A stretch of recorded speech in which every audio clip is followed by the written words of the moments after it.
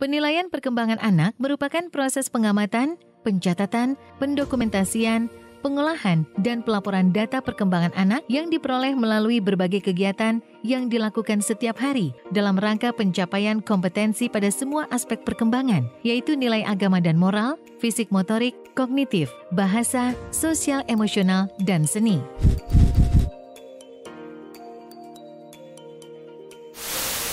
Penilaian perkembangan anak dalam konteks pendidikan kebencanaan disesuaikan dengan materi yang diberikan oleh pendidik dalam kegiatan pembelajaran harian di satuan PAUD.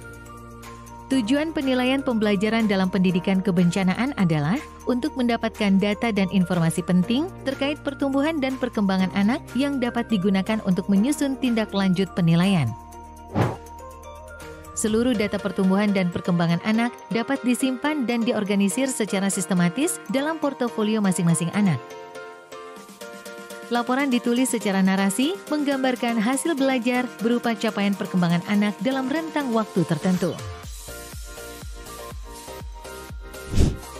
Penilaian perkembangan anak harus memenuhi beberapa prinsip, yaitu otentik, mendidik, berkesinambungan, objektif, akuntabel, sistematis, menyeluruh, dan bermakna.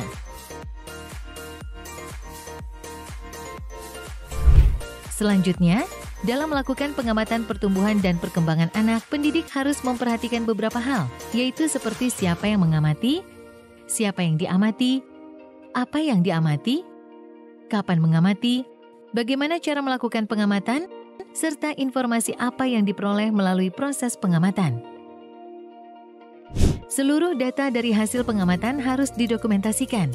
Pendidik dapat mencatat data hasil pengamatan melalui catatan anekdot, checklist, dan hasil karya anak.